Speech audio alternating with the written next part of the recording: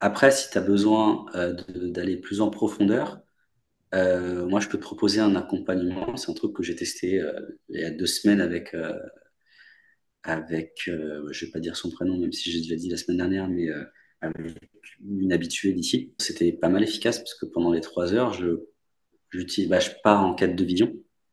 Mais du coup, je me branche au niveau subtil et là, je t'ai parlé de centre de la gorge, le ventre, etc., etc.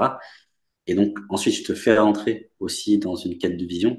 Donc, euh, c'est pas un, un, un état modifié de conscience, mais je pense que toi qui es méga, méga sensible, euh, pour, ça va passer comme une, lettre à, une lettre à- ça va, ça va.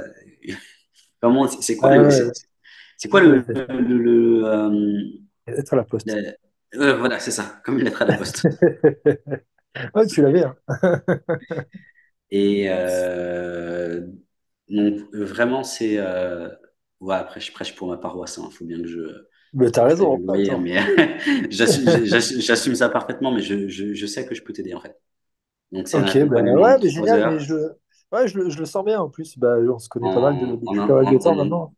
c'est en individuel du coup, et c'est un espace que je pourrais pas faire en collectif. C'est marrant, au départ, je voulais faire un, un truc collectif, et euh, du coup, il y a quête de vision, non-dualité, claire information, et ensuite un, un espace coaching dans le sens où, à partir de toutes les libérations que tu as faites pendant la, pendant la session de trois heures, eh ben, on va voir des, des, des, des clés qui sont action- actionnables pardon, dans ta vie quotidienne. ouais, ok, Et donc, ouais. après, tu as une semaine tranquille. Et ensuite, le, le- le- les sept jours plus tard, on se refait un bilan de une heure, une heure et demie à peu près pour voir bah, comment c'était quoi la préséance, comment tu as vécu, est-ce que les clés ça t'a parlé, qu'est-ce que tu as eu comme retour de la vie, retour de ton corps, qu'est-ce qui s'est passé, etc. Ok, génial. Donc, euh, c'est pour ça que je te disais, je peux pas. euh, moi, je me refuse d'accompagner quelqu'un qui a un, un- potentiellement une dissociation. Euh, j'ai vécu des moments de dissociation hein, Ouais. avec ma compagne actuelle où elle, elle m'a accueilli d'une manière que je n'avais jamais vu quelqu'un m'accueillir comme ça, tu vois.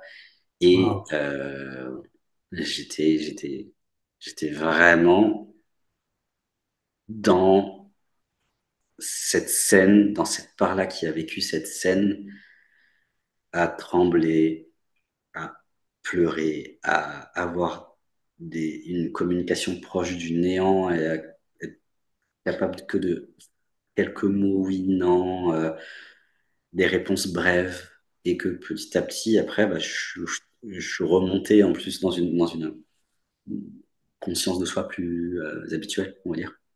Ouais, c'est génial. Mais, tu, voilà, beau. c'était ouf. C'était ouf. C'est beau, ça me fait du bien quand tu parles, tu vois, d'être accueilli par, par ta chérie, là. Mm. C'est, c'est vraiment quelque chose que j'ai besoin de réussir à mettre en place, en fait. Parce que je sens que j'en ai vraiment besoin. Et, euh, tu, parce que je- elle, elle est capable de m'accueillir. C'est, c'est moi qui, qui me l'interdis, en fait.